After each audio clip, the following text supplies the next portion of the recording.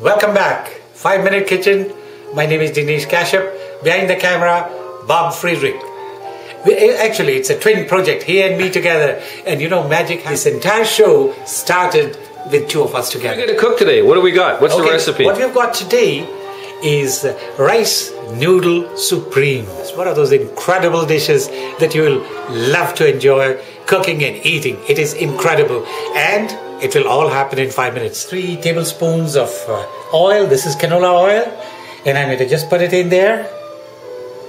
Heat up. It has to be very hot because the only spice I'm going to use is one. And this is the mustard. You will see it will start cracking. It needs to be very hot. See that it's already sizzling and within a second it's going to start crackling. And the crackling is the time when it releases the flavors. Because remember, the food is all about flavors, and the flavors are not released. Just like coffee, you know, the coffee bean, the green bean has got no flavor at all, no smell at all, no aroma at all. But the moment you roast it to the right temperature, the whole thing is released. And this is what is happening here. So I'm just waiting for the crackling of mustard. so what else have you got here? What are your other ingredients? Tell us what you got. Okay. The other ingredients are I'm, I'm, I put them all in smaller sizes. I cut them up into smaller things. One is the red pepper. You know, this is this is like the not hot red pepper, and this is the other thing, the uh, broccoli cut into small pieces, and then you've got the uh, um, mushrooms cut into small pieces. Uh, this is um, sour cream. We're going to use at the very end. This is coconut milk, and we're going to. Use this is one of the magic ingredients, and uh, little shavings of um, carrots and uh, cilantro. And you got some tomatoes over here too, or tomato. I do have some. Yes, I forgot to tell you that I've got some tomatoes. So that thing's popping. Let's have a look at that stuff now. Just we'll just see what's happening there. Whoa, look at that. Whoa, they're really going. So, so it really goes all over the place, and that's the reason we, we, we close it. Now, what I'm going to do is, uh, I've got these onions. It's about half a cup, if you will, you know. Red onions. Red onions. And remember, the red onions are the ones which have got the flavor. So I won't use any other kind. That's what really makes a difference is, that is the aroma of uh, red onions uh, made into a golden color. So that's what you're going to see now. I'm just going to start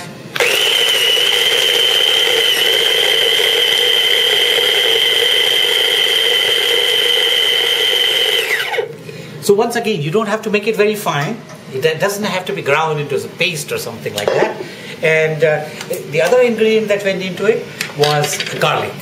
I had three cloves of garlic and uh, Oh, three cloves of garlic in here. That's right. Okay. So they've gone in, and now I'm going to just put them in the.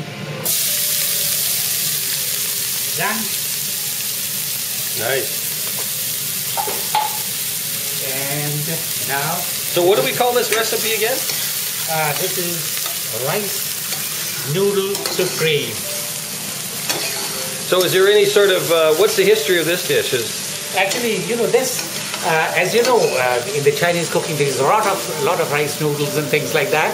But the thing is, in Indian cooking, it's not used a great deal. So here we've got a new recipe, a new thing, which probably. Uh, so we're grabbing from two cultures. One is uh, the, The the Chinese. Chinese culture, and what's the Indian part of it then? The spices. the, the spices because the Chinese use a different kind of spices altogether, you know, and that's what makes it different. But you'll find it's very it takes, doesn't take too long to cook, and uh, and you'll find it is extremely uh, aromatic. It is very tasty. So here are the uh, I've taken these uh, these um, tomatoes from can. I'll tell you one of the secrets about tomatoes. In winter, don't use fresh tomatoes, and there is a reason for it. You know, these tomatoes were picked when they were green. They probably took three months to get here, for all I know, because they, they don't come by air, you know? They come by. So it, it probably took them three months to get here. Guess what? I mean, tomatoes, green tomatoes, artificially made into red tomatoes, they're no good. They don't carry any of that beautiful. Tomato is, one, is, is like a fruit, you know? You've got to have the tomatoes when they're ripe on the wine. And sometimes, you know, they, they trick you. They, they cut the wine and send it and say, uh, tomato on the wine. But guess what? When it was picked, it was green. It doesn't have to be heated a great deal. And uh, these are Roma tomatoes, by the way, the, the little ones with, the, you know, the longish looking tomatoes, and they are very, very nice in taste. They carry, they're used in Italian cooking a lot, but, uh, but, but, but remember, you know, they've got, they've got a beautiful taste. So uh, this is done now. This is, uh, uh, now I'm just going to add the other ingredients. And I'm not going to worry, all of them will be added together.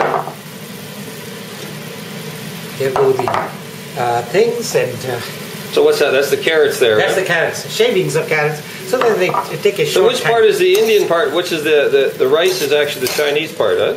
Uh, actually, the rice noodle is Oh, the used rice in India noodle. as well, but but the rice noodle is, uh, is is definitely you know Chinese. You know they use it much more than in Indian cooking. So if you were to say this, what part of India would you give uh, credit to most of this dish from? Say from South India because this mustard is used mostly in the south. It's not used too much in the north. So I would give it. Now I'm going to add the. This is uh, uh, coconut milk. Ooh. You can buy it in the store. It's very exciting to add, and you will see the taste. Because you find that in India, coconut milk? Is that something uh, The that coconut is- milk is again from Thai cooking. Oh, from So- Thai cooking. Yes.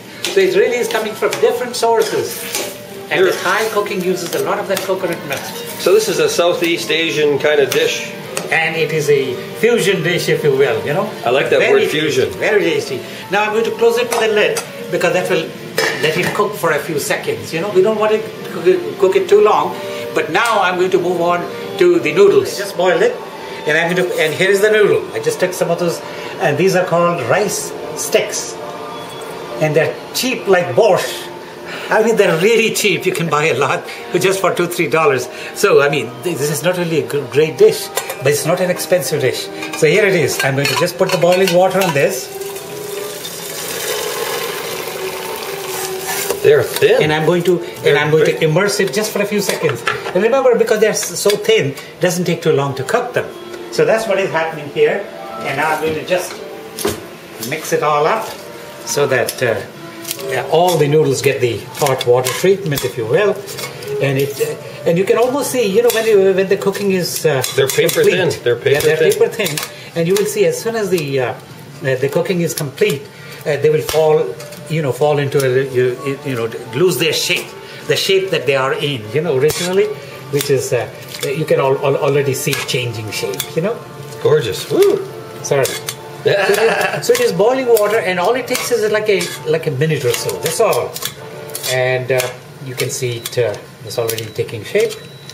Uh, it, it will crumble into uh, into a non-shape, if you will, like a ball, you know. And as soon as it is done, I'm going to add it to that, and we're, we're ready to eat. That did not take long at all. So, So here what's it the title of our dish again? It is uh, rice uh, noodle supreme. It's already cooking here, and I'm going to drop it into this.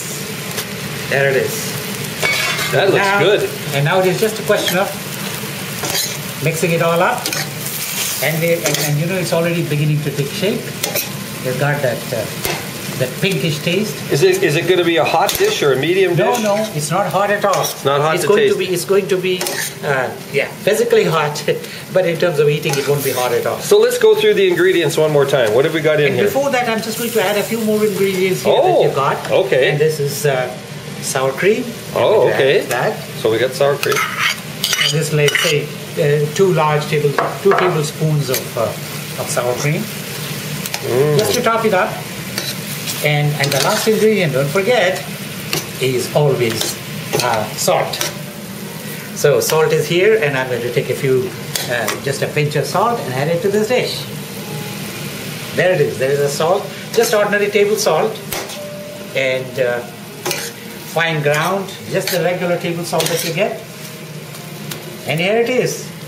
It's done. We're not going to we're not going to heat it anymore. This is this is complete. So this is something you could make for the kids at lunch if you really wanted to. Exactly, exactly, and very tasty. So I'm going to put it in the plate, and uh, there, There we go. He's going to plate it for us.